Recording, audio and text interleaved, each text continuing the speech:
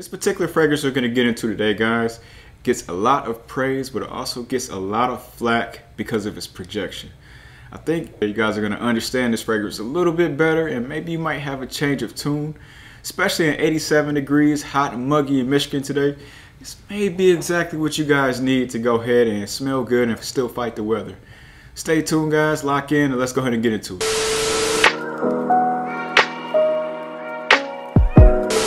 What's up YouTube, this your guy Mills of Fragrantly Locd. If you're here for the first time, I just want to say thank you for stopping by and welcome to the channel. If you're here for the first time, do me a quick favor, go ahead and hit that subscribe button, hit that notification bell because they'll let you know the next time that we do drop a video. And also, if you're feeling a little spicy, a little caliente, do me a favor, go ahead and hit that like button because it helps the YouTube algorithm. Today guys, we're gonna get into a fragrance that I feel is quite honestly misunderstood and I feel like once you give it a, a slight chance during the summer, I think you guys may change your tune and I feel like that is none other than Parfums de Marly Sedley. The reason why I feel like this is misunderstood is I've seen a lot of comments and reviews stating that the fragrance is very light and it doesn't project. However guys, during summer, typically you don't want a very spicy, woody, or very overbearing fragrance. Especially in Michigan, today is 87, muggy, and you need something that's very light, that works with your skin chemistry, that does not overpower the next person that's gonna be next to you. Before we go into the actual review, let's go ahead and go over the box and bottle presentation. First thing you're gonna see here with the box is this light blue Parfums de Marly. You see the Sedley, and if you guys have seen one of these boxes, you've seen them all. Also on the inside, per standard Parfum de Marly, they come with this little tag here that gives you some information on this actual bottle. So it has three different languages. And also looking at the bottom here, hopefully it actually zooms in. You're gonna see your actual lot number of the bottle, which is 1271059 and it is the same thing on the bottle here. Looking at the bottle, you get the see-through dark blue bottle and this is the actual newer batch because it is the see-through.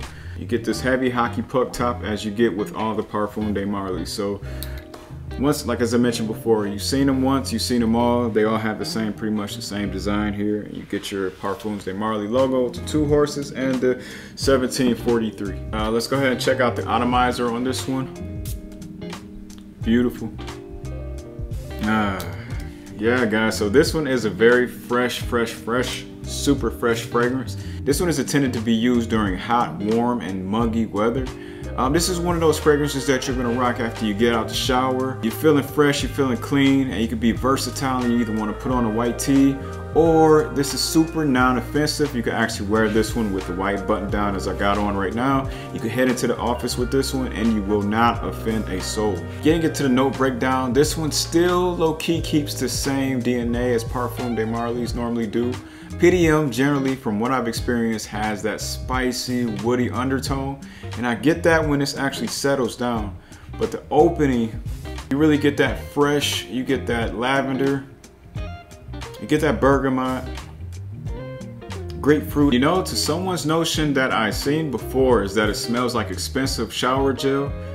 I a thousand percent agree with that comment. This does smell very fresh, like you're getting out of the shower, a very expensive shower gel. Also guys, another reason why I believe that this particular fragrance gets a lot of flack is because of its steep price. But if you guys are actually in the fragrance experience group on Facebook, you guys would have known that last week I got slid a little email that I wasn't supposed to tell everybody. But there was a VIP email that I received. It was a 35% off of all PDMs. And I got this one for uh, 158 Generally, this bottle goes for 250 plus. So I can understand why someone may look at this fragrance and say, okay, this is a linear scent. Um, I'm spending 250. Why in the heck do I actually want this fragrance or why do I need it? So believe me, I understand you guys gripe on that one. But if you guys get this one on a still like I did, I believe that this bottle is well worth the investment. Just for very hot muggy days like we are in Michigan, this comes in handy because it smells great, it works with the chemistry of the heat, and also for my skin, it stays on for a pretty decent amount of time. However, please note that this fragrance does sit close to the skin through and through. There's not like a heavy projection on this one, so if you're looking for a fragrance that's gonna give you some heavy projection, some heavy sillage, this one is not it. So in a sense, I think I love this fragrance for all of the reasons everyone hates it for. and I love that I could actually rock this one uh, during the summer. As I mentioned before, I could rock it in the office or I could be versatile and put on some jeans and a t-shirt and get up and go. So overall, guys, I love this fragrance. I love that they keep the same DNA with PDM Sedley. And if you live in a very hot and warm muggy state, like I do, I would recommend that you guys try it and see if it works with your skin chemistry and also see if you like fragrances sitting closer to your skin and not choking out the next person that's close to you. Today's quote I'm gonna leave you guys with is Ain't nobody don't ask me. I'm just so fresh, so clean, so fresh and so clean, clean. OutKast. You guys have been rocking with Mills and Fragrantly Locd. I appreciate you guys as always. Peace.